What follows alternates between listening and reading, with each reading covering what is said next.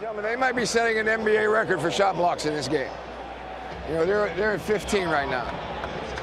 A block shot's like a turnover. Well, the NBA record for block shots by a team is 20. Bynum has nine of them. And more alters.